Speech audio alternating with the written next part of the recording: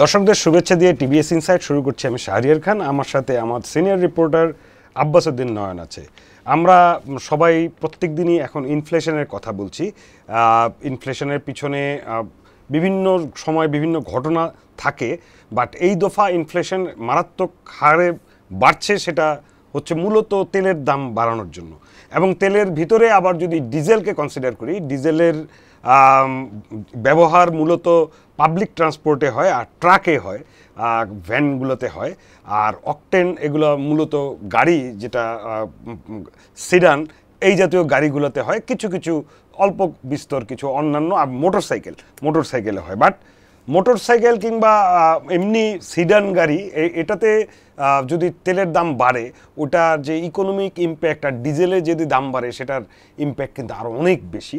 এবং আমরা একটা দেখেছি যে গত বছর থেকে যে আমাদের দফায় দফায়, দুই দফায় করে বাড়ানো হয়েছে। এর আগে পার লিটার ডিজেল পঁয়ষট্টি টাকা থেকে তেইশ শতাংশ বাড়িয়ে আশি টাকা করা হয়, এটা হলো নভেম্বর মাসে।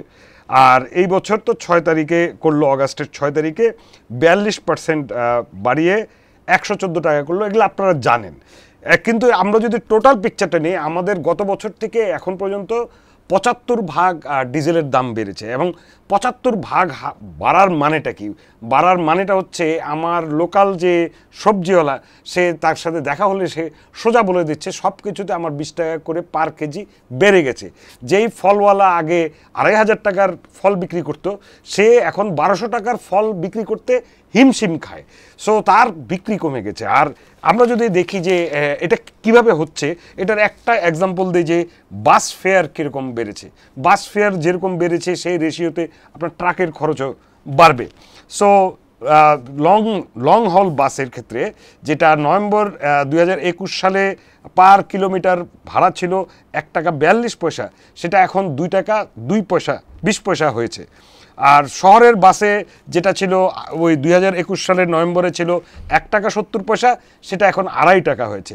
আর শহরের মিনি বাস ও বিভিন্ন ধরনের বাসগুলোর ভিতরে এক টাকা ষাট পয়সা ছিল, সেটা দুই টাকা চল্লিশ পয়সা হয়েছে। সো বুঝতেই পারছেন যে এর ফলে সব কিছুর দাম অনেক বেড়ে গেছে। আরও কিছু উদাহরণ দেই। যেমন এর ফলে কি ইম্প্যাক্ট হয়েছে? এই যে এক তারিখে, এই জাস্ট এই মাসের এক তারিখে এক হালি ডিমের দাম ছিল বিয়াল্লিশ টাকা। সেটা এই গতকাল এটার দাম ছিল পঞ্চান্ন টাকা। আপনার ব্রয়লার চিকেন ছিল একশো পঞ্চান্ন টাকা পার কেজি, সেটা হয়ে গেছে দুশো টাকা। আটা পার কেজি ছিল পঞ্চাশ টাকা, সেটা হয়ে গেছে পঞ্চান্ন টাকা। এখানে এই কম বাড়ার একটা কারণ হলো আটা লটে আসে সো এখন হয়তো ট্রান্সপোর্ট কস্ট অ্যাড হয়েছে। এটা ভবিষ্যতে আরও বাড়তে পারে যদি এই অবস্থা বিদ্যমান থাকে। আর চালেও ছাপ্পান্ন টাকা কেজি ছিল, সেটা এখন আটান্ন টাকায় হয়েছে। চালের ক্ষেত্রেও ইম্প্যাক্ট আমরা পরে বুঝব, কারণ এই খরচে ব্যবহার করে যে চাল উৎপাদন হবে, সেটার সেটার উপরে রিফ্লেক্টেড হবে। আপাতত কেবলমাত্র ট্রান্সপোর্টেশন কস্টটা এখানে অ্যাড হবে। আর সয়াবিন তেল একশো অষ্টাশি ছিল, এটা একশো নব্বই টাকা। সো আমরা একটু ইনডেপথ এই রিপোর্টটা যেহেতু নয়ন করেছে, আমাদের আর সাথে আমাদের ডেপুটি এডিটর তিতু দত্ত গুপ্ত করেছেন, তো নয়নের কাছ থেকে শুনি যে মানুষের অবস্থা কি। শারি ভাই থ্যাংক ইউ আসলে এই ক্রাইসিসটা প্রথমত করোনার মধ্যে ছিল। করোনার পরে করোনা যখন শেষ হলো করোনার শেষ মুহূর্তে আমরা যখন রিকভারি স্টেজে ছিলাম, তখনই বৈশ্বিক বাজারে তেলের দাম আস্তে আস্তে, করোনার সময় তেলের দাম অনেক কমে গেছিল। বৈশ্বিক বাজার আস্তে আস্তে বাড়তির দিকে যখন ছিল, তখনই গত বছর মানে দু হাজার একুশ সালের চার নভেম্বর সরকার প্রথম দফায় তেলের দাম বাড়ায়। তো ওই সময় প্রায় থার্টি পার্সেন্টের মতো তেলের দাম আমাদের বাড়ে। টোটাল সব কিছু মিলিয়ে ডিজেল অকটেন মিলে। ওরই একটা ইম্প্যাক্ট তখনই আমাদের ইনস্ট্যান্ট শুরু হয়েছিল। তো আমি যদি ওই ইম্প্যাক্টটার সঙ্গে সর্বশেষ যে তেলের দাম বাড়লো, সেটা নিয়ে সবাই অনেক আলোচনা হয়েছে, সবাই জানে যে আসলে প্রায় ফিফটি পার্সেন্টের মতো বেড়েছে। দুইটার সঙ্গে যদি মিলাই, তাহলে এই সময়ের মধ্যে আমাদের সেই দুই একুশ সালের নভেম্বর, তার মানে নয় মাস আগে, নয় মাস আগের সঙ্গে এখন মিললে আমাদের ডিমের দাম প্রায় পঞ্চাশ পার্সেন্ট বেড়েছে। আমাদের চালের দাম চোদ্দ পার্সেন্ট চোদ্দ পার্সেন্ট বেড়েছে। এরপরে আমাদের মসুরির ডালের আটত্রিশ শতাংশ দাম বেড়েছে। আবার আমরা চিনির দাম আটত্রিশ শতাংশ বেড়েছে এই সময়টার মধ্যে। এরপরে আবার আমাদের যে একদম আমরা প্রতিনিয়ত যে জিনিসগুলো এই মরিচ শুকনো মরিচ কাঁচা মরিচ এই দুইটা জিনিসের দামই প্রায় ফিফটি পার্সেন্ট করে বেড়েছে। আবার আটা বেড়েছে আটত্রিশ শতাংশ দাম। এটা হলো আমরা যদি নয় মাসের হিসাব করি সর্বশেষ যে তেলের দাম বাড়ছে তো এক মাস হওয়ার আগেই এর কিছু ইম্প্যাক্ট পড়ছে যেখানে আসলে যে ইন্ডাস্ট্রিগুলো বা যে ক্ষেত্রে ইনস্ট্যান্ট প্রভাব পড়ে যেমন ডিম আপনি বলছিলেন ডিম ব্রয়লার আমাদের সবজি এবং আমাদের ইম্পোর্ট যত ধরনের প্রোডাক্ট ফল থেকে শুরু করে যত ধরনের প্রোডাক্ট আমরা ইম্পোর্ট করি সব ক্ষেত্রেই। তো আমরা আসলে মানুষের মধ্যে এই জিনিসটা কেমন প্রভাব ফেলছে আমরা দেখেছি। তো আমাদের দেশের জনসংখ্যার একটা বড় অংশ আসলে সীমিত আয়ের। প্রায় সাড়ে তিন কোটি মানুষ সীমিত আয়ের। আর সীমিত আয় এবং নিম্ন আয় মিলে আমাদের সাড়ে সাত কোটি আট কোটির মতো মানুষ যারা হলো ডে লেবার এবং সীমিত আয়। তো এই মানুষগুলোর উপরে একটা বিরাট হিট পড়ছে যাদের হলো চল্লিশ থেকে নিচে স্যালারি তো আমরা বেশ কয়েকজন মানুষের সঙ্গে গত তিন, চার দিন ধরে কথা বলেছিলাম। সবারই ব্যয়ের একটা হিসাব দেখেছিলাম। যারা আগে নিজের বাসায় থাকতো বা ঢাকায় ভাড়া, যারা, যারা- বাসা ভাড়া বাসায় থাকে, তাদের হলো যদি দশ হাজার টাকাও একদম সাধারণ একটা বাসায় দশ হাজার টাকা থাকেন, তাহলে তার বিশ, বাইশ হাজার টাকা মাসে খরচ হতো। এখন সেটা আঠাশ, উনত্রিশ হাজার টাকা পর্যন্ত পৌঁছে গেছে। যাদের বাসা ভাড়া আরও বেশি, চার পাঁচজনের ফ্যামিলি তাদের সেটা চল্লিশ, পঁয়তাল্লিশ হাজার টাকা পর্যন্ত পৌঁছে গেছে। কিন্তু তাদের আসলে কারোই আয়টা যাদের যাদের লেভেল আমরা বলছি যে যারা একুশ বাইশ হাজার টাকা ইনকাম করতো, তাদের হয়তো আয় ছিল পঁচিশ হাজার টাকা। তাদের আয়টা এখন বাড়েনি, বরং ব্যয়টা তিরিশ হাজার খরচ করে গেছে। তারা এখন ঋণ করে চলছে। আমরা অনেকের সঙ্গে কথা বলেছিলাম, তারা আসলে তাদের গুরুত্বপূর্ণ বেশ কিছু খাতে খরচ কমাচ্ছে। যেমন হলো তারা এখন দুধ খাওয়া বন্ধ করে দিয়েছে। আপনি হয়তো জানেন যে গত প্রায় পনেরো দিনের মধ্যে আমাদের, পনেরো এক মাসের মধ্যে আমাদের সবগুলো কোম্পানি দুধের প্রাইস অ্যাটলিস্ট থার্টি পার্সেন্ট বাড়িয়েছে। আমরা যেই আগে যখন এক কেজি দুধের প্যাকেট কিনতাম এক মাস আগে সত্তর টাকা দিয়ে সেটা এখন একশো টাকা হয়েছে। আবার আমরা বাজারে খুঁজে দেখেছি যে গরিব মানুষের যে প্রোটিনের উৎস পাঙ্গাস মাছ তেলাপিয়া মাছ তো এই মাছগুলো সিলভার কাপ মাছ আছে এই মাছগুলোর আগের দাম ছিল একশো টাকা একশো বিশ টাকা একশো দশ টাকা এমন কেজি। সেটা এখন একশো পঞ্চাশ টাকা খরচ করেছে প্রায় সবগুলো। তেলাফিয়া মাছ গতকালও দুইশো টাকা উপরে কেজি বিক্রি হয়েছে। গরিব মানুষ পাচ্ছে না। আমরা গতকাল কল্যাণপুর বস্তি বা তার আশেপাশে অনেক মানুষের সঙ্গে কথা বলেছি। এমন অনেক মানুষ আছেন যারা হলো এই মাসের এক তারিখ থেকে শুরু করে আজকে বিশ বাইশ তারিখ। এর মধ্যে ডিম কেনার সামর্থ্য তাদের নাই। আবার যাদের কথা বলছিলাম যে তিরিশ পঁয়ত্রিশ হাজার টাকা বেতনের আমি গতকাল ডেমরার এক চাকরিজীবীর সঙ্গে কথা বলেছিলাম। উনি বেসরকারি একটা প্রতিষ্ঠানে চাকরি করেন ওনার আঠাশি হাজার টাকা ওনার বেতন দুইজনের ফ্যামিলি উনি প্রতি সপ্তাহে একবার করে গরু গোস্ত কিনতেন। কিন্তু গত চার মাসে উনি শুধু কোরবানির সময় গরুর মাংস খেয়েছেন এর বাইরে উনি কোনো মাংস কিনেননি। যে যে লোকটা প্রতি সপ্তাহে মাংস কিনতেন। তো গরুর মাংস এক বছর আগেও ছিল সাড়ে পাঁচশো টাকা পাঁচশো টাকা দাম। সেটা এখন সাতশো চল্লিশ টাকা বিক্রি হচ্ছে সুপার- শপগুলোতে বাইরে হয়তো আরও বিশ টাকা কম। একইভাবে ডিম ডিমের কথা আপনি উল্লেখ করেছেন যে ডিম আপনি বলছিলেন যে পঞ্চান্ন টাকা সেটা গতকাল ষাট টাকা ক্রস করেছে যেটা মানুষের আসলে কোনো ক্ষমতার মধ্যে বাইরে চলে গেছে। তো মানুষ আসলে নেসেসারি ব্যয়গুলো ব্যয়গুলোর মধ্যে অনেক কমিয়ে দিয়েছে। আমরা আরেকজন ব্যক্তির সঙ্গে কথা বলেছিলাম, যিনি হলো মগবাজার বসবাস করেন। উনি ওনার এক ছেলে, এক বাচ্চা, ক্লাস টুতে পড়ে। এই বাচ্চাকে উনি প্রাইভেট পড়াতেন। স্কুলের পাশাপাশি তিন হাজার টাকা করে প্রতি মাসে সেখানে ব্যয় করতেন। উনি এই গত মাস থেকে এসে ছেলের স্কুলের টিউশনি পড়ানো বন্ধ করে দিয়েছেন প্রাইভেট পড়ানো। শুধু স্কুলে যে পড়া, পড়ানো হচ্ছে, সেটাই উনি চলে গেছে। আবার উনি এটাও বলছেন যে আসলে ওষুধ ক্রয়ের ক্ষেত্রে উনি ব্যয় কমা- কমিয়েছেন। যেমন আগে ঠান্ডা লাগলে মন চাইলে ওষুধ কিনে ফেলতো, এখন ঠান্ডা লাগলে দেখে যে দুই দিন দুই দিন দেখব যে দুই দিন ভালো না হলে পরে ওষুধ কিনবো। তো একদিকে ওনারা মানুষ হলো নেসেসারি ব্যয় কমাচ্ছেন, খাদ্য খাদ্য জিনিসপত্রের দাম বেড়েছে, এই কারণে নেসেসারি ব্যয়গুলো কমিয়ে দিচ্ছে। আবার শিক্ষা, স্বাস্থ্যের ক্ষেত্রে মানুষ ব্যয় কমাচ্ছে। তো এটার একটা বড় ইফেক্ট আমরা অনেক অর্থনীতিবিদদের সঙ্গে আলাপ করেছি, পুষ্টিবিদদের সঙ্গে আলাপ করেছি। তো ওনারা বলছেন যে এটার ইমপ্যাক্ট আসলে বেশ বড়, যেটা আমাদের ভবিষ্যতে অনেক বড় সমস্যা হয়ে দাঁড়াবে। আমাদের আসলে পুষ্টিহীন মানুষ তৈরি হবে, আমাদের দুর্বল মানুষ তৈরি হবে, যাদের যাদের দ্বারা ফিউচার প্রোডাক্টিভিটি কমে যাবে। এটা একটা বড় আশঙ্কার জায়গা। একটা ইম্পর্টেন্ট আসপেক্ট হচ্ছে যখন কনজামশন কমে যাচ্ছে যেই এক সময় অফকোর্স আজ থেকে এমনকি পনেরো বছর আগেও হয়তো গ্রামের লোক এখনকার মতো কনজিউম করতো না। আগের গ্রামের লোক ফ্রিজ টিভি কেনার কথা গ্রামের খুব এলিট না হলে কেউ করতো না।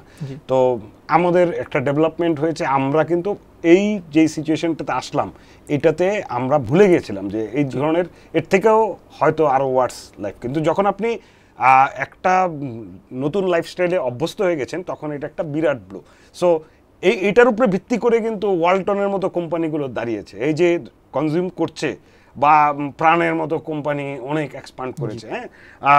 রাস্তার এখন যে কোনো একটা রিক্সাওয়ালা যেটা আগে যে ধরনের খাবার খেত না এখন অন দ্য গো সে খেয়ে অভ্যস্ত হয়ে আসছে। আর ডিম ডিম ধরেন এই এক ধরনের পোলট্রি রেভলিউশন বাংলাদেশে হয়েছে, যেটা আগে এই পরিমাণ ডিম এত কম দামে পেত না, সেটাতে আমরা অভ্যস্ত হয়ে গেছি। সো এটা হলো একটা সম্পূর্ণ একটা লাইফস্টাইল যেমন ডিসরাপশন হয়েছে, অন্যদিকে যেই কোম্পানিগুলো গ্রো করছিল, সেইখানে তো মানে একটা বিরাট ধাক্কা খাবে বিকজ কনজামশনটা তো যদি না হয়, তাহলে এই কোম্পানিগুলো যেই ইনভেস্ট করে, যেই মানে যেই গতিতে আমরা যাচ্ছিলাম একদিকে পুষ্টিহীন মানুষও বাড়বে আরেকদিকে সম্পূর্ণ ইকোনমিক স্লো ডাউন হবে, তাই না? জি, আপনি ঠিকই বলেছেন। যেমন আজ থেকে পাঁচ বছর আগে আমাদের ডিমের কনজাম্পশন ছিল পার ক্যাপিটা পঞ্চাশ পঞ্চান্নটা। এখন সর্বশেষ প্রতিবেদন দু হাজার একুশ সাল একুশ সালে আমাদের পার ক্যাপিটা একুশ সাল শেষে পার ক্যাপিটা ডিম ডিম কনজাম্পশন আমাদের একশো পনেরোটা ছাড়িয়েছে। তার মানে মানুষ আসলে কম দামি হলো ডিমের পুষ্টিতে যোগ ছিল। এবং আমাদের ব্রয়লারের প্রোডাকশন অনেক বেড়েছিল। এর একটা বড় কারণ আসলে আপনি যেটা বলছিলেন আমাদের ইকোনমি বড় হওয়ার কারণে প্রচুর মানুষ কনজাম্পশন শুরু করছিল। ইন দ্য মিন টাইম এই সরকার যখন গত এক মাস ধরে লোডশেডিংয়ে যাচ্ছিল তখন অনেক পোলট্রি খামার যারা হলো ক্ষতিগ্রস্ত হচ্ছে অনেকে কারখানা বন্ধ। আমাদের কাছে রিপোর্ট আছে প্রায় ফোর্টি পার্সেন্ট খামার হইল তারা তাদের প্রোডাকশন কমিয়ে দিয়েছে। জেনারেটর দিয়ে আসলে কতটুকু সম্ভব? যাদের যারা লিমিটেড স্কেলে পারিবারিকভাবে যারা ছোট্ট একটা খামার দিচ্ছে দুইশো মুরগি বা পাঁচশো তিন চারশো মুরগি যারা পালন করছিল তারা আসলে জেনারেটর ছিল না।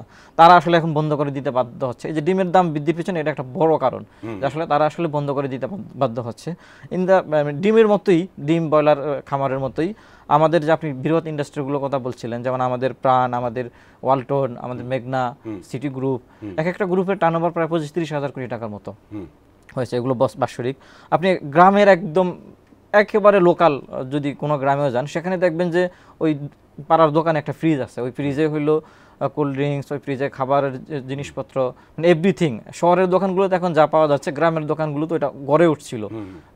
বিকজ সেই সেই গতিটা সম্পূর্ণই ব্যাহত। সম্পূর্ণ ব্যাহত হচ্ছে। আমরা খোঁজ নিয়েছি যেমন আপনি ইলেকট্রনিক্সের কথা বলছিলেন আমরা খোঁজ নিয়েছি গত দুই মাস ধরে ইলেকট্রনিক্সে বেশ স্লো যাচ্ছে। স্লো যাচ্ছে মানে টোয়েন্টি থেকে থার্টি পার্সেন্ট পর্যন্ত ওদের বিক্রি কমে গেছে। আর খাদ্যপণ্য যেটার কথা বলছিলেন যে প্রাণ সিটি এদের আসলে আমরা এদের অনেকের সঙ্গে যোগাযোগ করছিলাম। ওনারা বলছিলেন ওনাদের আসলে টাকার দিক থেকে খুব একটা কমেনি অল্প একটু কমেছে। কারণ হলো জিনিসের দাম অনেক বেড়েছে তাদের তাদের so 20% 30% quantity quantity of consumption কমেছে কিন্তু টাকার স্কেলের টাকার স্কেলের সমান আছে। তো তাদের কোয়ান্টিটি কমার কারণে তাদের আসলে লোকবলেরও চাহিদা কমে যাচ্ছে নতুন নিয়োগ কম হচ্ছে। অনেক কোম্পানি যারা বিদ্যমান আছে তাদের নিয়ে টিকে থাকার চেষ্টা করছে। মানে এই problem will drive create more problems আমরা যেটা বলতে চাচ্ছি যে এটা তো মানুষ তো পুষ্টি পাচ্ছেই না। তারপরে এটা একটা পারপেচুয়েটেড হবে, একটা ভিসাস সার্কেলের ভিতরে ঢুকে। সো মানে এই যে তেলের দামটা হুট করে বাড়ালো, এই যে মানে এটা হলো যে এটার যে কনসিকোয়েন্স কত বড় হতে পারে, এটা যথার্থভাবে আগে মেজার করা হয়নি। আই গেস যেই কারণে প্রাইম মিনিস্টার সেদিন বলেছেন যে এক মাসের ভিতরে একটা রিভিউ করে প্রাইস কমানো অ্যাডজাস্টমেন্টের কথা বলা হয়েছে। তথ্য আমাদের যে energy minister state minister for energy Nasrul Hamid Bipu, উনিও একই কথা সেন্টিমেন্ট করেছে। সো এটারে নিয়ে কি আমাদের প্রোগ্রেস আছে যে ভ্যাট ট্যাক্স এই ধরনের কমানো কি ধরনের না সেটা আপনি ঠিক বলেছিলেন যে আমরা আসলে সর্বশেষ যে তেলের দাম বাড়ছিল সেটার ইমপ্যাক্ট আমরা কিছু কিছু ক্ষেত্রে পেয়েছি কিছু কিছু ক্ষেত্রে পাইনি। যেমন আমাদের এখন আমাদের বিলে মানে খেতে যে ফসলটা আসছে সেটা আমন আমরা সেটা আমাদের মেইন দানের সিজন। আমনের ফসলটা আসলে আমাদের প্রাকৃতিক পানি দিয়েই হয় সেচের প্রয়োজন হয় না। আবার সার ঔষধের প্রয়োজনও খুবই কম হয়।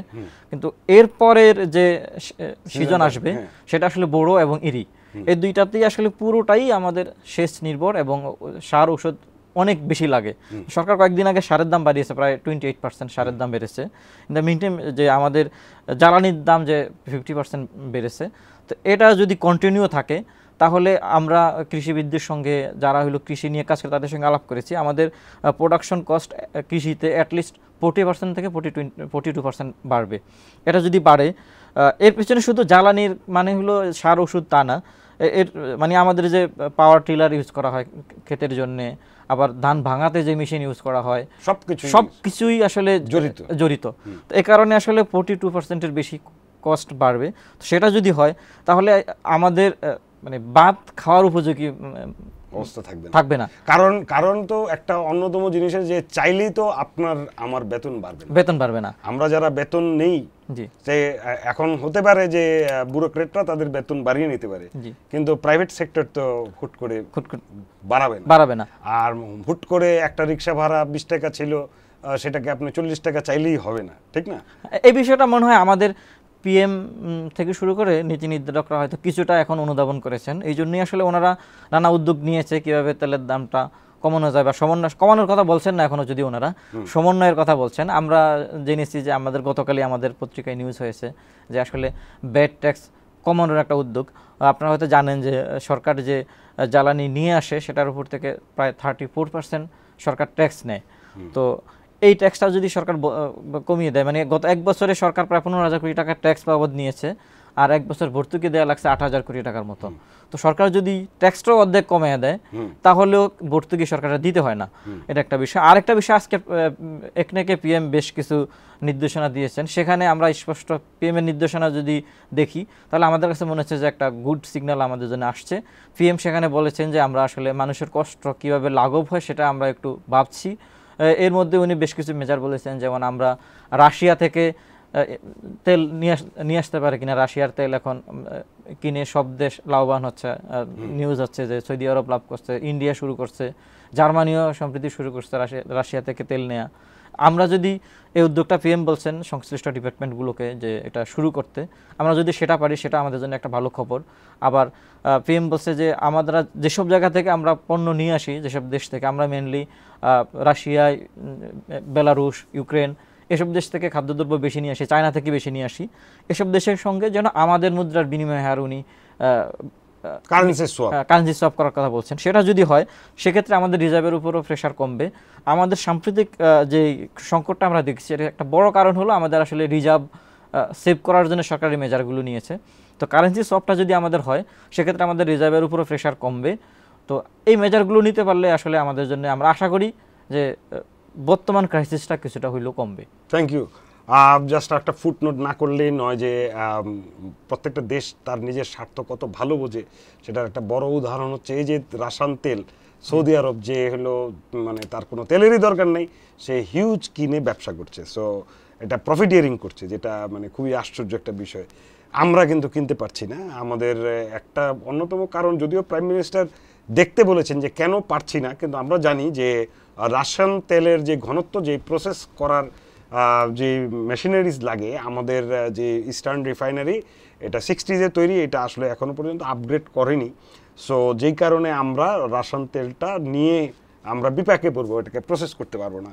এটা একটা রিজন এবং মানে আসলে সময় থাকতে অনেক কিছু করা যেত বাংলাদেশের সরকার সেসব জায়গায় সময় মতো দেখেনি।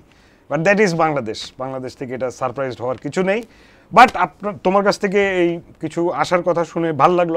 আশা করি সেইভাবেই যেন আমাদের দেশ আগায় এবং আগামী মাসে হয়তো যদি আমরা কিছু রিলিফ পাই তাহলে হয়তো আমাদের ইকোনমি এখানে একটা সবার কনসার্ন বলেই রাখি যে দাম একবার বেড়েছে আর কি কমবে কিনা। আমি যদি তেলের দাম কমিয়ে দেই তারপরে কি কমবে কিনা? এটাকে নিয়েও একটা কথা আছে। সচরাচর আমাদের ব্যবসায়ীরা একটা টেন্ডেন্সি থাকে যে এই সুযোগে একটু প্রফিটিয়ারিং করা। সবসময় বলে এটা হয় হলো আজকেই কিনেছি তেল তো খরচ বেড়েই গেছে। আর যখন কমিয়ে দিবে তখন বলে ভাই কেনার ছিল স্টকে তো এটা তো আমার বেচতেই হবে। ঠিক না? বাট আমাদের কমন সেন্স বলে যে কিছু ক্ষেত্রে হয়তো এরকম হবে বাট কনজামশন যদি না হয় তাহলে তো ব্যবসার লাভ নেই। ব্যবসায়ীদের তো বিক্রি করতে হবে। এই ব্যবসায়ীদেরও তো সেল কমে গেছে। সো ইভেনচুয়ালি দাম একটা জায়গায় আসতে হবে। না আপনি ঠিক বলেছেন। আমরা অতীতে দেখেছি এমন উদাহরণ হয়েছে যে আমাদের ব্রয়লারের দাম দুশো টাকার উপরে হয়েছে আবার সেটা একশো বিশ টাকাও নেমে আসছে। আচ্ছা। এমন এমন ঘটনা আছে। আবার আমাদের যে সবচেয়ে বেশি ব্যবহার যেটা হয় আমাদের ভোজ্য তেল ভোজ্য তেলের প্রাইস তো সরকার নির্ধারণ করে দেয়। যদি ইন্টারন্যাশনাল মার্কেটে কমে আসে আমাদের এখানে আমাদের রিজার্ভ প্রেশার কমে যায় আমাদের টাকার পর্যটতা আসে এবং ইন্টারন্যাশনাল মার্কেটে দাম কমে তখন সরকার ভোজ্য তেলের দাম কমাবে।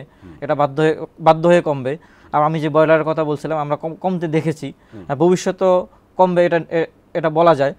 হয়তো একটা জায়গায় এসে কমানোটা কঠিন হবে যেটা আপনি যেটা বলছিলেন যে আমাদের প্রায় ফিফটি ফাইভ পার্সেন্ট বাস ভাড়া বেড়েছে। বাস ভাড়া হয়তো কমবে না। অন্যদিকে যে আমাদের ট্রাক পিক আপ ভ্যান এগুলো আসলে কোনো ফিক্সড ভাড়া নেই। এগুলো আসলে বাস বাস সিস্টেমটার উপরে একটা গ্রাইন্ডিং করা উচিত। এটা একেবারেই একটা ব্ল্যাকমেল টাইপের একটা ইন্ডাস্ট্রি এটা তাদের কারণে অনেক কিছুই শহরে হয় না। এটা নরক নারকীয়। এনিওয়ে সো তোমাকে ধন্যবাদ। আর দর্শকরা আশা করি যে আমাদের এই প্রোগ্রাম থেকে অনেক কিছু জানলেন। আর আমাদের প্রোগ্রাম যদি আপনাদের ভালো লাগে তাহলে লাইক করবেন শেয়ার দিবেন আর আমাদের চ্যানেলে চোখ রাখবেন। আপনাদের সবাইকে ধন্যবাদ।